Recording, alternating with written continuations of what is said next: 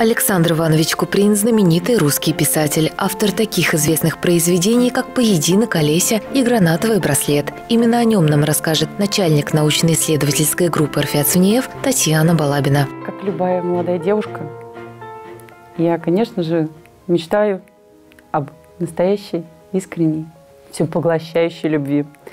И эту любовь я нашла на страницах произведения Александра Ивановича Куприна Гранатовый браслет. Данное произведение попало ко мне в руки в 11 классе. И увидев описание вот тех самых чувств, той искренности, которые мечтаешь, просто захватило, поразило меня. История этого произведения очень интересная. Она на самом деле основана на реальных событиях. А, Иван Александрович был дружен с губернатором Любимовым.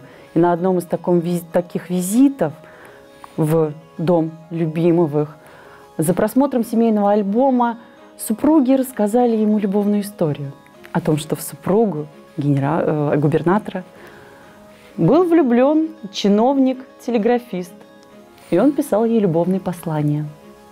Эти любовные послания супруга сохраняла, делала небольшие зарисовки и складывала в альбом. Именно этот сюжет лег в основу данного произведения. Произведение небольшое, всего 30 страниц – но оно каждое слово, каждая страница пронизана любовью. Любовь, которая описана между мужчиной и женщиной, показана не только между главными героями, как раз-таки а, Вера Николаевна Шейн и Желтковым. Они также рассказываются в небольших рассказах генерала Аносова, которые приключились в его полку. Это больше дает понять, насколько все-таки это большое всеобъемлющее чувство. Сюжет очень простой.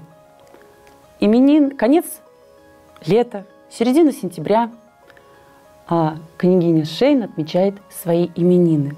Она собирает немного гостей, только самых близких, и под конец вечера ей приходит письмо с подарком – Подарок от ее тайного воздыхателя, который уже на протяжении семи лет безнадежно влюблен в княгиню.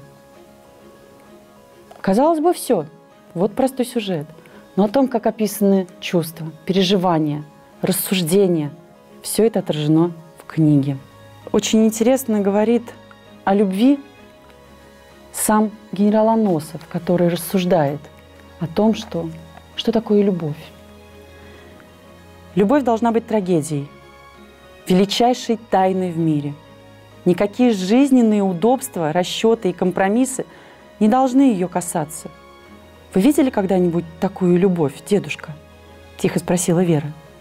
Нет, ответил старик решительно. Я, правда, знаю два случая похожих. Но один был продиктован глупостью, а другой так. Какая-то кислота. Одна жалость. Ну а прочитав это произведение, каждый решает уже для себя сам, что же для вас любовь. Кому хочется порекомендовать это произведение? Наверное, тем, кто считает, что любовь – это порог. На самом деле, любовь – это дар, который дан нам свыше. Поэтому, если вы любите, но не признались еще в своих чувствах, обязательно признайтесь. А если вы еще не встретили, то Желаю вам счастья, удачи, встретить эту искреннюю, чистую любовь. Вера подняла крышечку, подбитую бледно-голубым шелком, и увидела втиснутый в черный бархат овальный золотой браслет. Низкопробный, очень толстый, но дутый. И с наружной стороны весь сплошь покрытый небольшими старинными, плохо отшлифованными гранатами.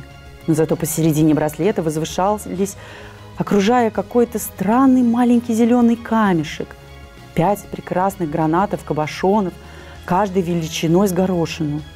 Когда Вера случайным движением удачно повернула браслет перед огнем электрической лампочки, то в них, глубоко под их гладкой яйцевидной поверхностью, вдруг загорелись прелестные ярко-красные живые огни.